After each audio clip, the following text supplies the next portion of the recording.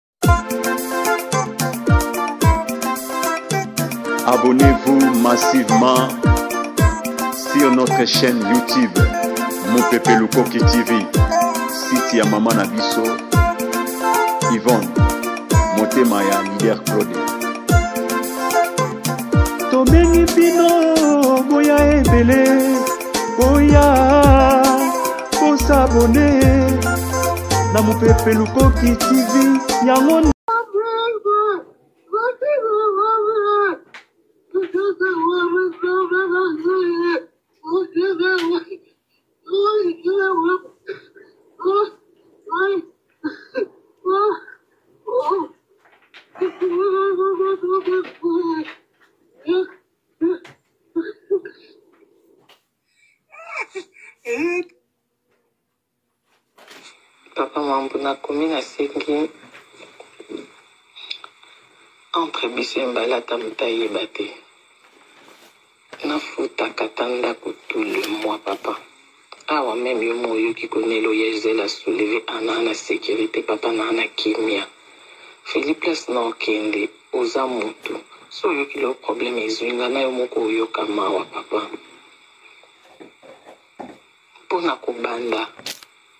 lelo nde toza soki pe le 20 nanga kutu asweda un peu jour ya le 22.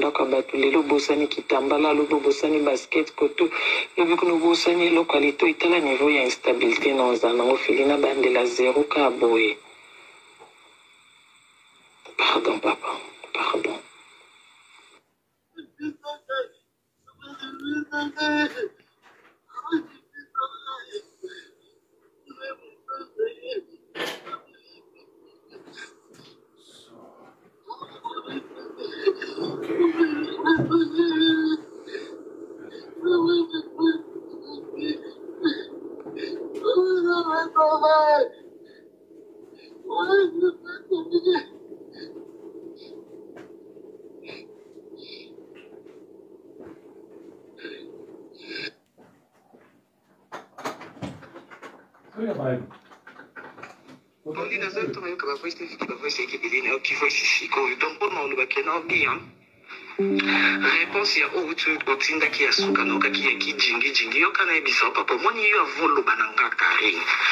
po nga jusque là mambo ebandi ebandi nakotisi yo te nalobi na yo likambo te mais ndenge ozwi courage oloba na nga c'est bien avant oloba na nga kende na l'hôpital basala opération viande oliaka na ndako na nga babimisa makila na nga regle eza ya libumu na yo après ozongi oyo olobi na nga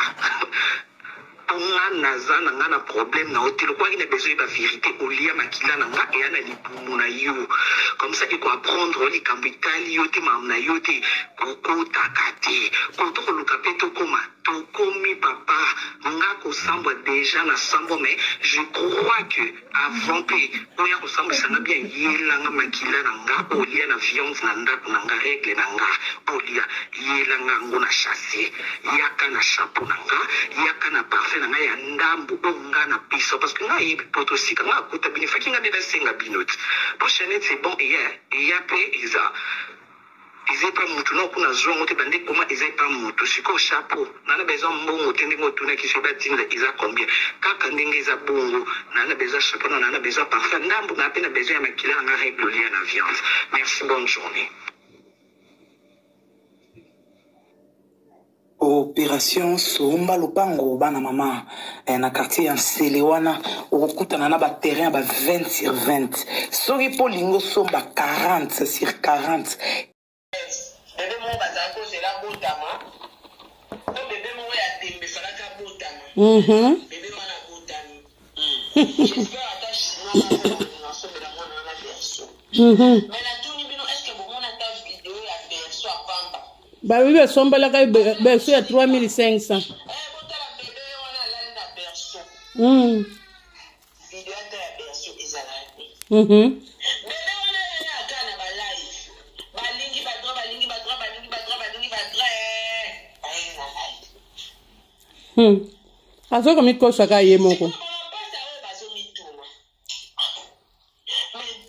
ndenge nini toye kotala mwana tomemeli bana bakado toye na biloko me normalement eh, bapepetaka mpe bato bana mwana te oki bomemi mwana eh, botyaye mpe kaka na droit so bolingi bato bamemake te okangi bafoto eka na berso eh, neti nga nabiki a ah, mwana ntango mosusu nga azwi vaccin te boye na boye mwana raison mais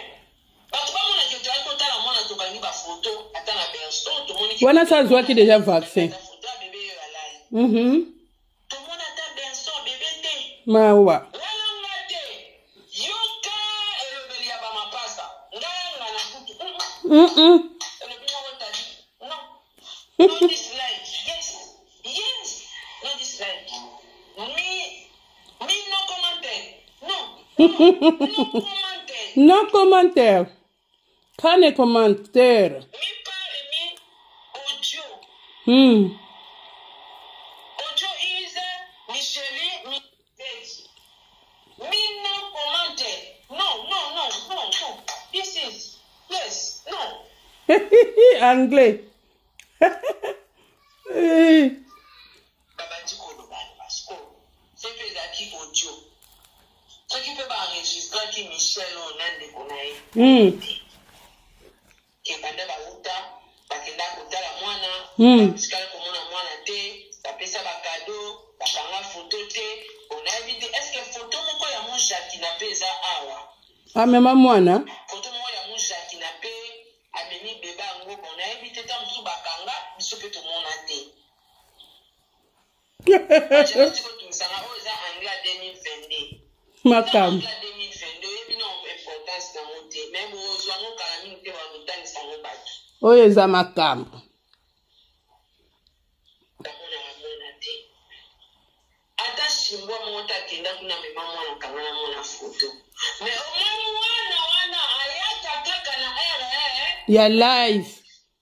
makambo mama shasha oza epargne te na live lelo ozali hmm. ozonga sikoyo continuité ya place na sukaki ya makambo ya bebe hmm. ezalaki falaki bebe azala mpo ke basala mokanda bebe wana akouta wapi nani akopesa bebe hmm. nani akotya ze nani akobotisa olingo to zala kalme zala kalme oh, zala kalme ngai nazala te nayebi eloko wela te mais okoyoka kaka baodio awa e okomprendre parce que nga nazalaka te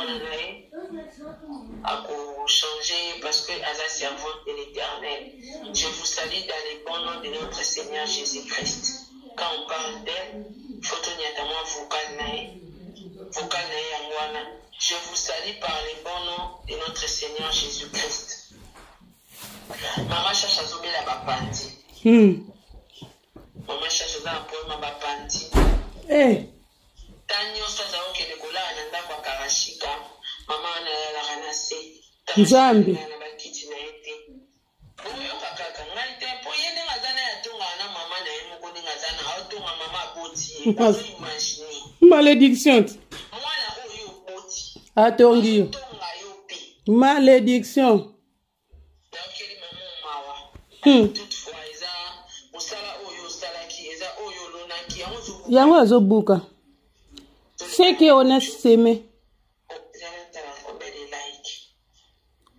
Ee bato ba mitya mabe olingi nga te balai ko nde bolukela yango baaudio eh la famille hmm. ça c'est quel genre de like ata vous-même moshakina yebisa copine na yo wana oyo aza pembeni na yo ya mondele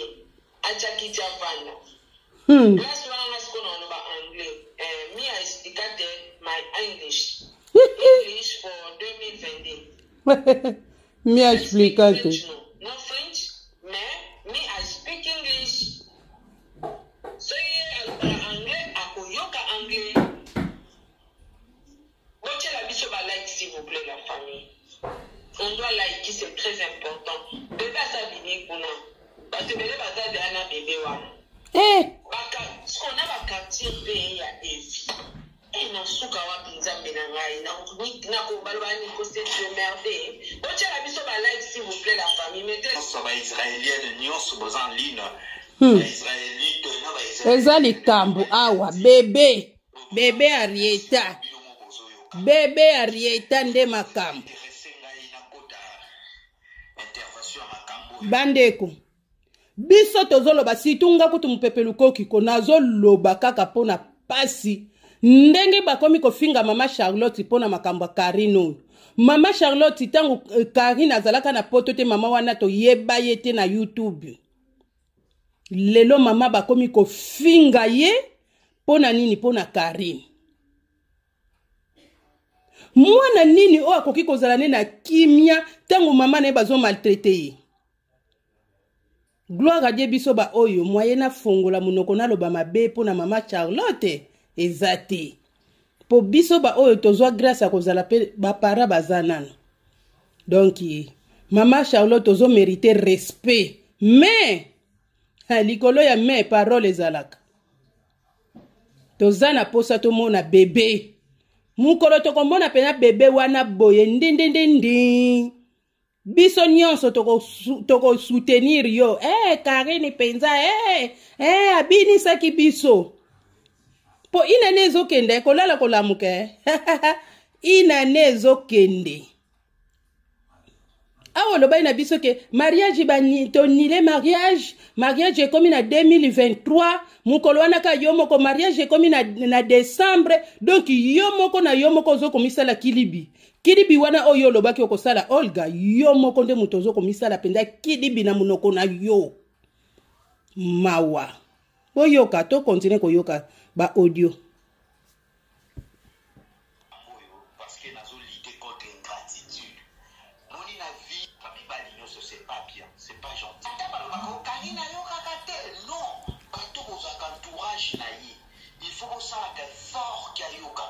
akoyoka nde nini soki eza ndenge na ye akoyoka te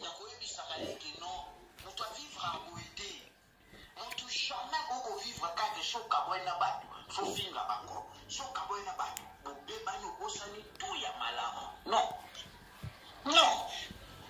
Lelo soki ba makambo mosusu ezobima oyo mpo na kotalisa ye ke kotalisa kotalisa ye sadi kotalisa ingratitude na ye mm. entre temps reconnaissance ezalaka malamu mm -hmm. ye oyo tayebi yango te soki moto akabelaki ata kopo ya mai zala reconnaissant un jour soki oyebisi bato bi aye ah, vraimen mm.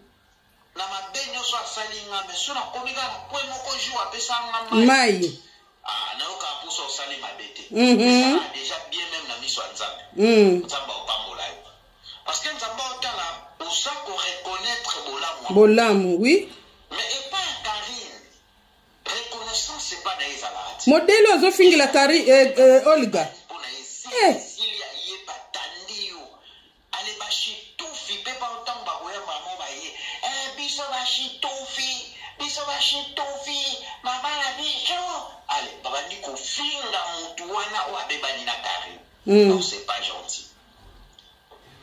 c'est pas gentil soki kari nazalaki malamu makambo ezolekela ye na olga kabelo mm.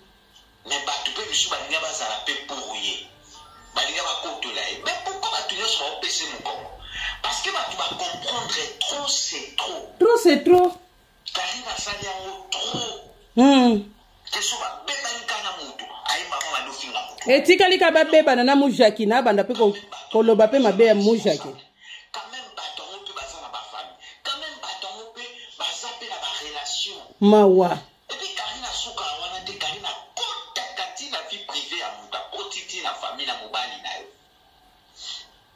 c'est pas bien c'est pas bien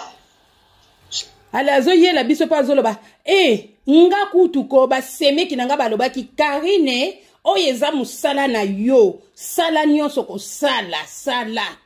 oyo basemeki ya ndenge nini semeki nini mpenza oyo akolinga mpenza ke eh, mwasi aya na ngai to mwasi aleki na ngai aza mali repute boye nabanda koencourage ye kotindika ye ke eh, loba na yo loba nyonso koloba loba jamais seke semeki wana alingi yo te eh, pardon tosilisa bongo nga mpe na kotya ya ngai na bato oyo bo bo partage loba eloko ezokweyisa eloko ezokweyisa karine ezali komona entourage ya bato na ye mm. nga nakomona entourage ya baisraelite na baisraelienne pembe na nga te yango nde kokomisa nga motu teti te soki motu mwa bale kosoutenir nga soki tokamwani na balukeli na bosana nyonso te ingratitude reconnaissance ekozala epa na nga hmm. lelo bato nyonso basuteni kabelo basuteni olga kabelo pourkoi basuteni olga kabelo pourkoi parce que batali makambo wana karine asalaka yango trop oui siko kotala ndeti olga kabelo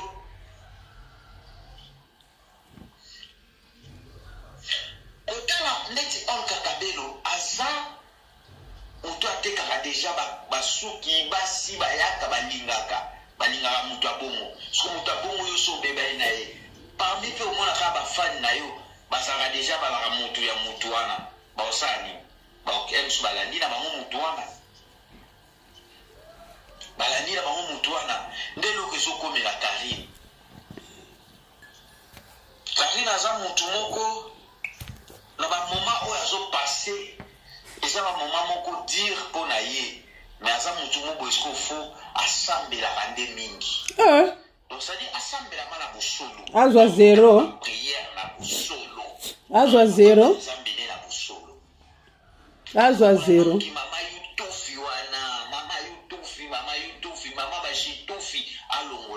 akocentre atala na place aza parce que bitumba eza ye ama na bitumba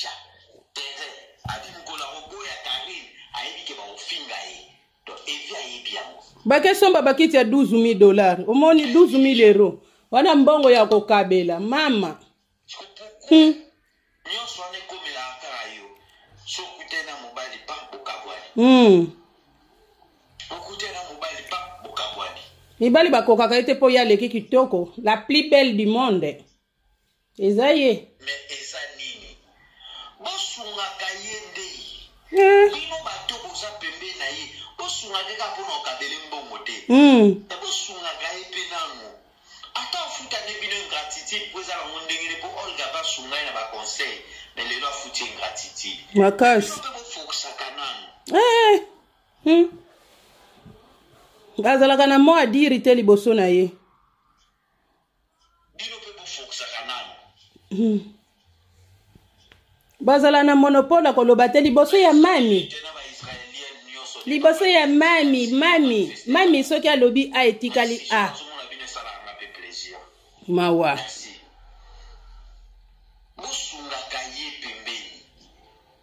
bolingaka ye te kaso asali boye bino wana boye bobeti maboko mama yo tufi momi de la tufi momi de la tufi non bosutenaka motu vrai moto aosala mabe meme na baandirect na ye boyebisa ye ke non osala mabe hmm. Osa mabe bato nyonso te baboyaka bango boye okoma na ta moko ozanga bato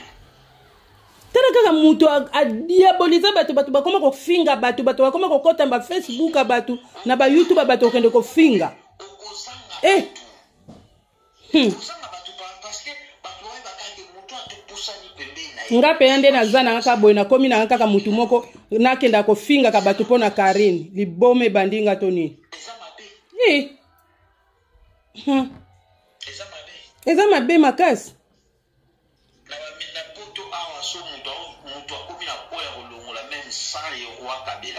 Mm. C'est pas facile, na mikilo ya poto na mboka mundele. Oyo toza me ye kutu ko azosenga olga olga yelanga balutu yelanga yaka na lipa yaka somba mapa mpo mama alobi soki awuti eglize akoleka awa sombelanga na papa evi bagete eh, olga kobosana te eh? sombela nga na papa evi oyebi moko mosusu tozalaka na voitire no olga eh, esika moko boye osombaka mapa boye ya moto oyebi mapa yango mapa yango oyebi yango papa evi mbala moko alobi baguette eh, eh? moto azosenga olga tina lipa lipa olga, eh, karine mokonzi azosenga yango me lelo oyo abosani ke asengama papa olga Hey, Karine, hey, ingratitude efuta ya mabe, eh? pardon. toza oyo na poto bato oyo bandimaka na bamoke bakenda bulo na bango me basangisela ko balaa bafutela ko pale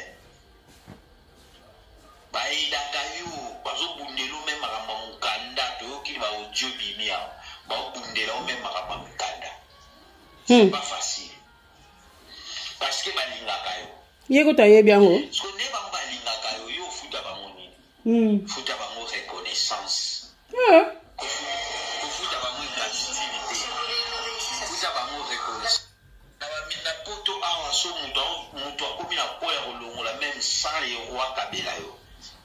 C'est pas facile hein, na mikili oyo ya poto oyo na mboka mondele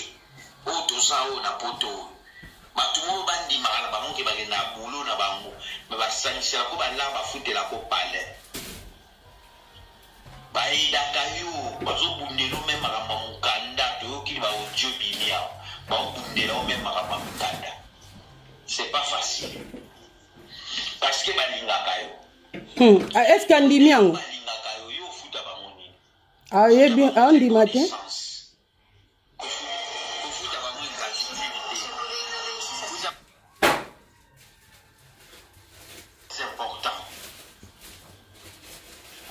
mosusu eza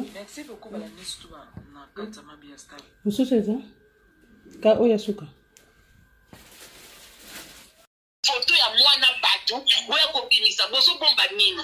mbolina aza moto ya malonga te yango bato boloba ke bato basala bavue bato baliaka mpo na mbolina bino bato botravaya mpo na mbolina bokokolia na nsima ne te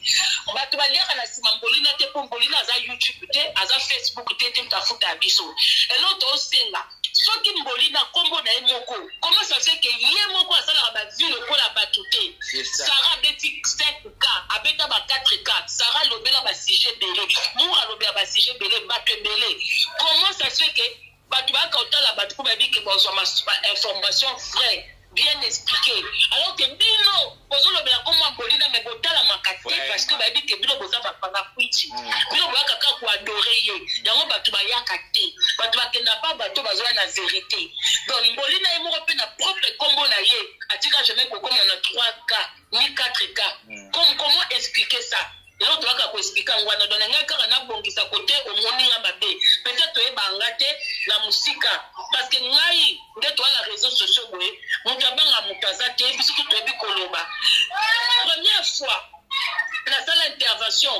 eyaka makambo momo ebima na kota états-unis boye ozala na baclash moko boye naya na defanda me nayoka kaka o oh, mura filingi mura asali boye me ngai so nayebi kinaa na likambo na motu te na bibwa peut-être aofinga mpo ayebi nga te mtu mpo aza na bato moko moko boye yango ezopousse asala boye mais de, de pas à part ça nazala ngai na problème na yo te nazala na problème nazwaka visa schengen lelo baexplika nga adresse ya carine nakota nasalaka tourbe mundele yango akanga biso nyonso mbango mokolo yango bino boza naye na poto mama kongo qu'est ce qui fait jusqu'à présent bozo koka ko komele place aza te bosimba ye ta na loboko bino nde boza mie place question wana zasi kona répondre oyo bandeko bayoka nasala pétition contre mbolina hmm. pétition wana ebaka pa avocat nange kenda tipa mbila mbila kuta abengisanga hmm. ezwaka basignature ebele ntango hmm. abandi bakomi obenga nga boyeboye mama moko oyo basambela pa ba mama olangi oyo bayaka poto na shasha nde ntango ayo benga nga mpo nabela makasi nde bomona nga to nasala mboli na petition hmm. to mama na ekobenga nga mpe na mama na nga tosoi na mama natalisi biso ndenge shasha ayaka na maboko na bango ndenge babandaka système ya délivrance na nde baya poto na ndenge ke shasha na mwana na ye bakoki kokutana te yango bomonaka ye akoka kofanda esika mona mwana na ye te parmi bakisi akenda osimba nganga wana apesaka eke ye na mwana ekoki osimba te yango bomonaka ye msusu bafanda esika moko yango na vie ya réel akipaka ne mama na ye te eza te monde ya bademoniaki ebetana entre bango bref eye kosala te po plainte elongwa awa il faut ekende belgique po ya awa nde eza boye awa so lelo mbolingani atika likolo na france oyo oh, tokuta eka na nzela boye tobandi oyo oh, tosime na nzoto mbila kwei aza deya na baplainte na ye ya makasi mpenza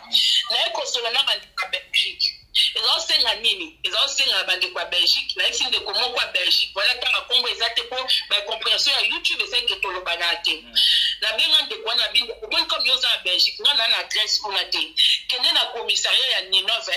ou na, na commune na bango senga biso droit ya kosala sitting liboso ya ndako na ye parce que azalaki yaki na problème na voisin nakota contact na voisin na ye ya rez de chaussée ndenge azalaka na meme wana na voisin ya rez de chaussée ya mondele baza kolobana te voisin na mpe asali ete ya baplainte ebele na bisengela biso sitting mpo yo moto wana adresse kuna omoni Plate ya mboka mususu ezwaka temps ezalaka nango na force mais mbila mpo alongwa na mboka oyo akende ti na mboka mosusu ça demande beaucoup de l'argent ozo comprendre nasengi ndeko wana sengela biso sitting ntango osenga sitting eye neti autorisation eh, ya okende manifeste liboso ya meuble moko boye ke bavoisin bayeba ke ye moto oyo encore azali nde na baproblème na bavoisin ntango totya makelele liboso ya immeuble fo tozala mpe na banorme mpo a eza poto basala makambo loyenge te parce que eza debisi touti mboka mosusu toyei koluka baproblème na mboka mosusu ekobalukela biso mais soki tozalaki na bandeko ya belgique oyo basengela biso droit ya kosala manifestation sitting liboso ya immeuble na ye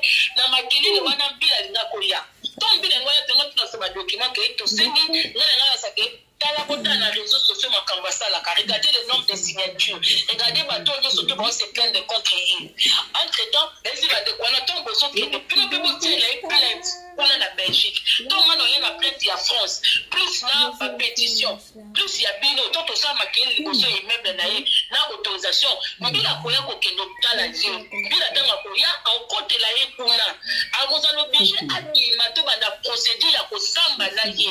mais sauf que bandeko wana belgique ba se contactaki ka na, na ba réseaux sociaux ya kosala ba live mais nga awa moni nga a na paris soki amoto ayebisi nga ke aza na rouen aza na orléans nzambe likolo mora motuka na se na tie sango oyo aza awafana ndaka christian feranga toyebi esika azali parce que akozala na paris moyebi esika te mais soki kaka ayebi esika mpo na paris awa naa na droit nazalaka na plate mbila aconvoka nga abi na nga tomoni nini na yo ye petition tout ça et tout ce comment nga bino pour l'instant je ne ici en France ou na mboka na naza na likambo nano na ye nanu te parce que je sais pas comment ni prendre na niveau ya belgique mpo na bike bino ekowumela me mokolo ozwa style trace na ye na france awa je vais remettre le dossier encore likolo donc ndenge ezalaka na ngai nalalela epousin na plainte na nga na pétition na nga mpo pétition ekufaka te ndeti ngai lelo so bobimisi nga kaka adresse na ye nzambe likolo bomona ka filmage na se déplacer mais na belgique j'ai pas de droit nde bomona meme biso bacombattant mpo tosala likambo na belgique eza bato ya belgique basalaka biso tokei na france awa eza biso bato na belgique baye c'est comme ça ça se passe mpo na domicile na belgique te mais soki nde tokutani na belgique ete tobundi u totini boye ntango mbila belgique akoya ngai nalakisa ke mikanda na ngai ke nazali ya na problème na ye botala plainte na ngai ya france ya ngolu mpo na na dossier na ye ya ngunda euta mpe ya lili complice moi kasi bozwi contact ya lili complice nde bocomprendre kazwa mokanda te nde bocomprendre kaa na mokanda te donc nyonso aloba wana eza yango lokuta tozozela kaka si tozozela kaka toyeba verité me mpo na mwana mpo na zemi nga azalaka na nga contre te mpo nayebi na nga te so abota ya solo mpa nde tomona kaka makambo ezobima nde kotonga kodecouvrir ke mwana aza lokuta kasi toyebi lisusu bien bien mpo ye eza demo ye kutu eza nango likambo ya jalousie te mpo aleki motu te nalipa ya kosenga na lutu ya kosenga moto akongo asenga na yo moto okomi na poto village hmm. ya ofele mibali ya ofele makambo nyonso ya ofele nyonso ofele siko ntango akolenga ye moto alenga aza te biso na mboko esi tofandisa toa na misala ya leta toza na bandako toza na bapermi toa na mikanda on a rien approuve na bashiwawa ke toleki mambi na bango ye aza star ya kokodioko aza vedette ya koko donc magu mpo na nga aza star aza star te donc pour l'instant kaka soki obimisi nga ka adresse ne ya france nga na osepelisa bino mais comme yaza moto moko abatamaka akendaka esika ofilme te soki kaka esili afilme donc kota belgique wana fo kota na bandeko baa na belgique comment ça soki bazelisaka zelisaka ye mais nga mokona france ata babi na nga aza na lyon kamokende Ata babi na nga aza na Marseille, kamukende, po oyo penza France, territoire na biso. Voilà, nazonga musala ndeko na nga, merci beaucoup. D'accord mama Kongo, merci beaucoup. Eko eza aza na France, bino bato bozoloba kasi aza na Belgique te, aza na France. Na Belgique dossier ya Olga ezele. Parce que na Belgique, so azali na Belgique, Olga alingaka azwa ye depuis. Na minute oyo place aza,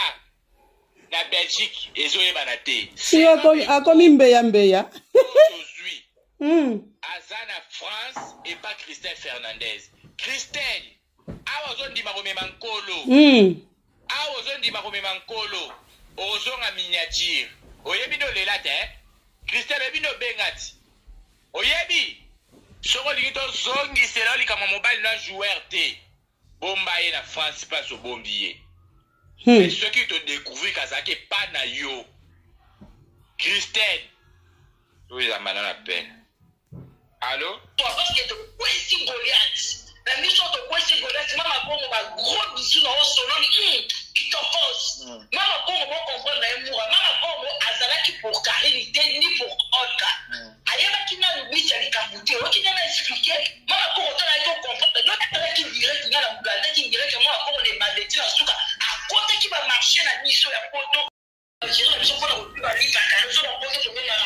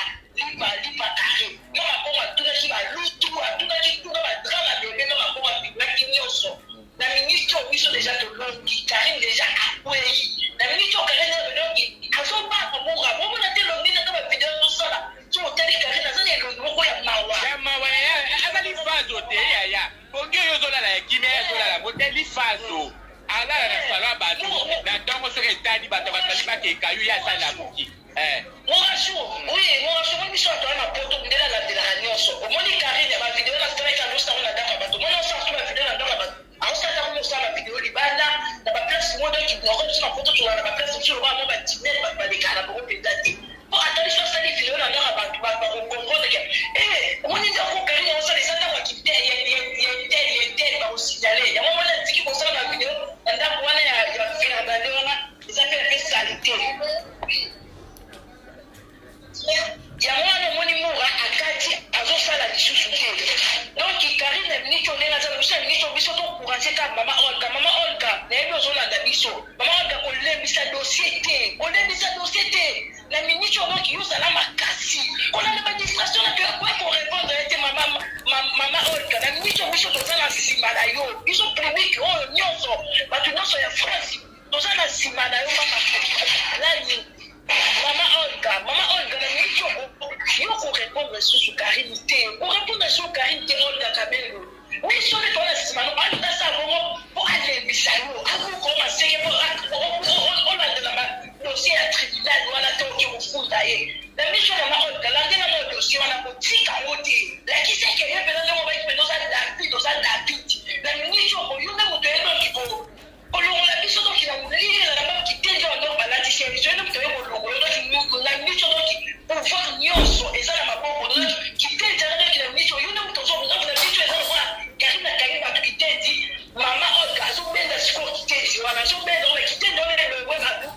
longola bato na motue donc mama tata longola yango nyonso parce que so longola yango te donc eza loka nzambe atio loka yo nde oya kosauve public kolelisa te mama oyo basi te ble mama nanga kolelisa te nalobi yango mama na mama leo mama na mama leki biso eza biso ba incarne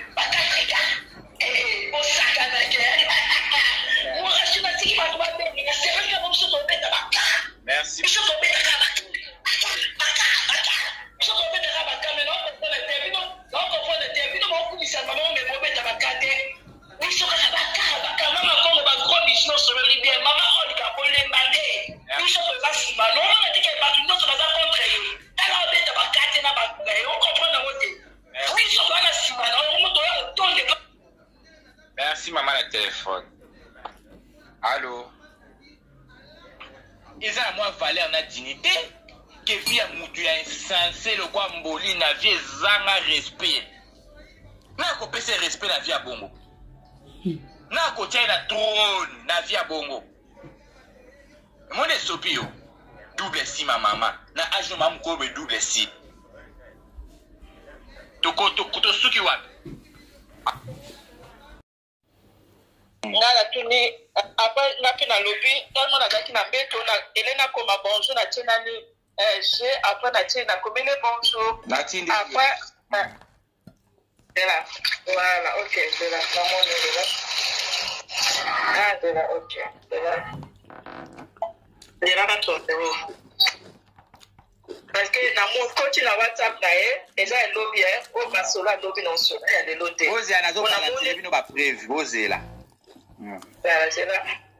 Geranda Evi, mpo na enregistre numero na ye Geranda Evi.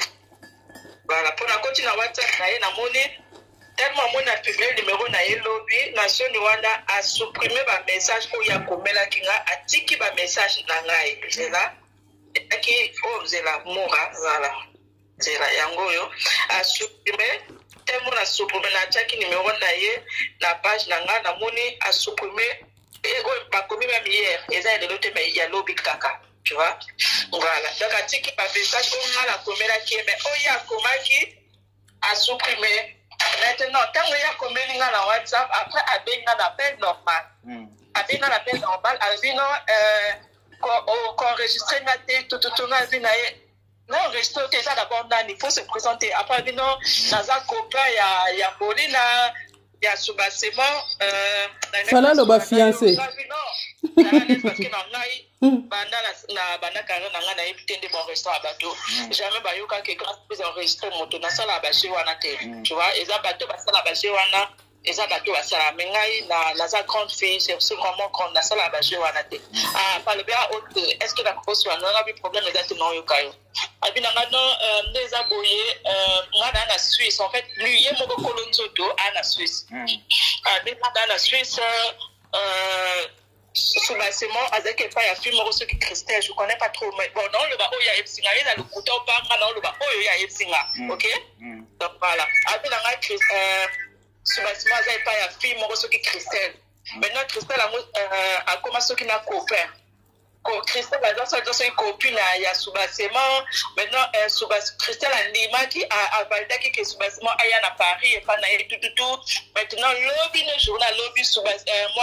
mwasi eh, mobali ya christelle mobali ya copain na ye ebebisanga copain ya christelle alobi na, na christelle c'est moi qui paye le loyer. Je ne veux pas voir cette fille ici. Elle a une mauvaise réputation. Mm. Soit des douanas, la Christelle. Mm. Christelle, c'est comme que non, t'es pour rien, mais non, quand il y a Christelle, en fait. Abinanga, euh, copain, a beau que sukasi mwa fanda kuna asali baproblème bon christelle mpe soit disant mobali yango nde nayoki soit disant apesaki soki eh, masani epa na bango soki donc aza comprene ya sur fo ayokela ye oui chéri hmm. donc eh, du coup subasima lobi nde babimisaki libanda yango wana abengaki nga mpo anegocie ato ah, eh, yo oza na na pavillon oza na ndako monene est ce que bomo bosala kaka lapin hmm.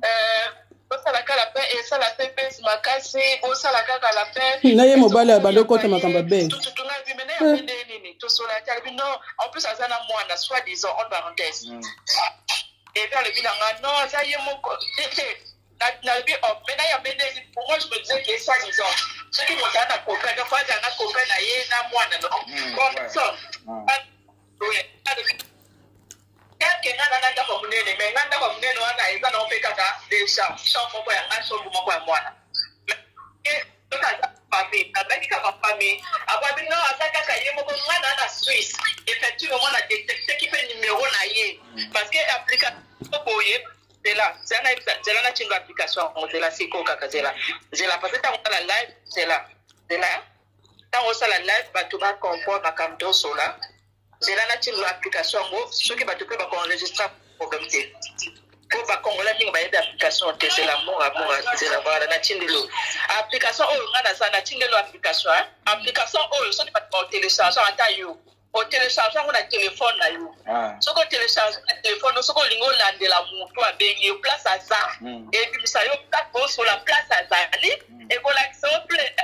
mpe nkombo na nom na prénom moto wana ebima to otyeka nkombo ya moto wana na application otye nimero limbisaka nimero oyo na application ebimisa yo nom na prénom na place moto oyo bosola aza hmm. natindola euh, preuve yango omoni ya Ouais. Voilà. Oza na oswa ne mpo nazala l'aise, nazala l'aise mpenza. Nazwi nani numero na ye, na tiango nani mpo na na de telefone. Telefone mosusu eza ya mwana, eza Samsung. Mm. Donc voilà, na yango natie mpo natiaki mpe application na telefone ya mwana natie ebimisaka mpenza ko nkombo na ye tala na tindelo evi soki kikule voilà ebimisi nga na non na suisse mpe mpo alobaki nanga aza na suisse ebimisi mpe ke effectivement aza na suisse ye kolo ye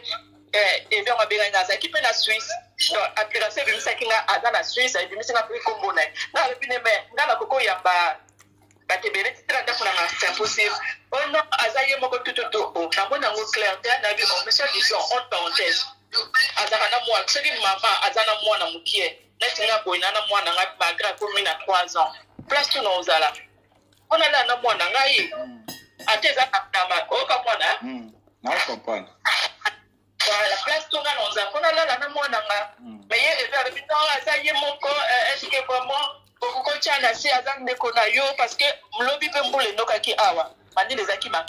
makasi mpenza hmm. onombula eza peta malili eza makasi oza na ndako monene ye aza na problème na yo te tututu boma moto parce que awa ah, place akokende minute oyo eza te en plus alati oka ko te ko ozolela ozosenga ozosala baosala bacamionnette ça veut dire que obunda on doit te respecter on est d'accord mais bato na poto baosala bango bacamionnette est ce que oyebi hmm.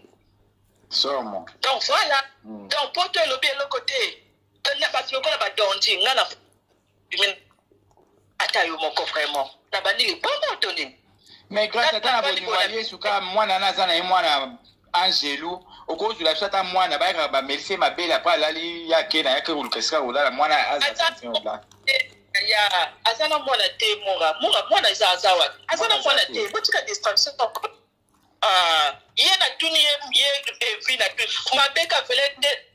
ah rite bote partenaire eh, rite bote nzambe omoni nde eza boye tellement nayeba ko enregistre bato te mm. fele na enregistre ye mais tele ah, eh, nzambe na bomoi ye eh. c'est pas grave ekufeli nango te c'est pas grave mm. mais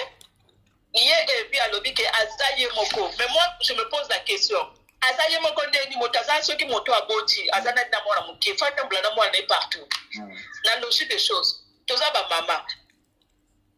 mete ye epi alobi non azaka ye moko soki aza ye moko ndeni mete mwana aza wana hmm.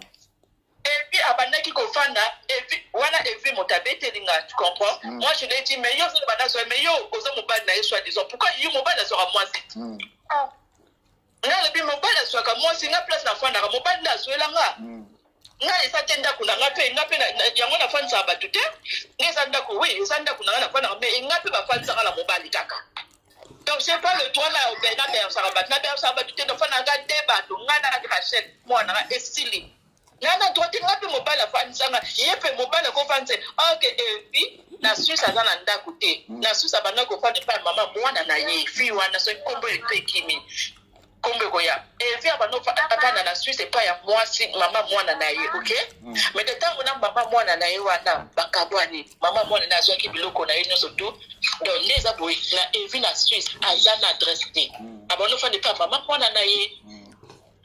Banda mama mwana ne makabo na boya buzoba evi tanga boyi buzoba evi evi nde aza boye akoma ofande pa afande awa afande pa camarade afande pa ya, ya, ya connaissance afande pa ya relation aza na adresse ta kofanza yoyebi ka moto soki ofande pa ya bato ofanza mpe moto mosusu te donc voilà maintenant ye maintenant ndako azalaki na ndako soit disant na nkombo ya moto yo moto azweli yo ndako respecte ye hmm. ata nde bango soki wiski yango omelaka wiski yango ya sek moto azweli yo ndako moto azweli yo ndako na nkombo na ye hmm. yo eh, pardon hmm. D'accord, merci beaucoup Grace Mbizi. Tona tozwa ka mwa éclaircissement mpona bato banda olanda biso. Donc voilà, mot de la fin ezali. Non, merci kaka, merci Mora, merci vraiment mm. beaucoup. Bato batika nde tembe. Mm. Yvette azangaki ndako. Mm. Oh, atie ba soki bilamba atie biloko na ba- soki banini wana babenga yango atie biloko boye babengani ye azangi mbongo garanti azangi boye asengi asengi atuli eh, mwasi kitoko eh, betisa mbandaka eh, eh, eh. ibeti ye wana bafingaki avi papa basekaka bato te surtout soki oyebi ke oza na babase solide te omotana olo babase solide Mm. eh? Mm. omoni base solide nga ndako nafandaka awa ya na kombo na nga papa na koko ganga ata moto atyanga awa asombelanga azwelanga ah, eza mapapa eza na nkombo nanga mbila okita bolobaki non na contrat komba moto ata osombela ye ata ozwela ye non non non eza ya moto mm. donc na vie mpo ozala sire il faut ozala na babase sole babenga basole pete baofaa baocomprendre te ta mpenza na basoba solide moko boomona te te ata naseki moto nga ekoyelanga te nga naza nga nafandi na poto plus de 10 ans nasala ndenge na nga famille na nga tu famille ya papa na nga tu bandeko na nga tu bafanda na poto bana bandako baleki na nga tu bafa na nga tu bana bana na bandako mais nga ça fait plus de 10 ans naza indépendant nafanda toujours se nga nafanda ni chez les camarades ni chez les familles ni chez bato toujours se ngai femme battante femme courageuse